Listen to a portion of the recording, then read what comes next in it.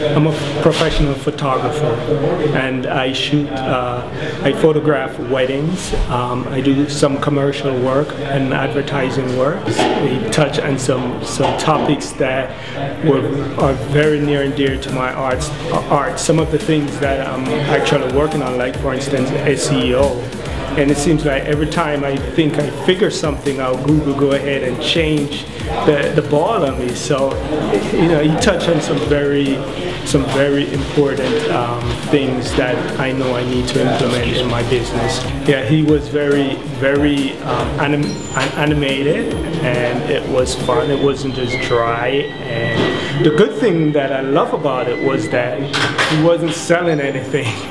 He was um, just uh, parting with some very um, useful information.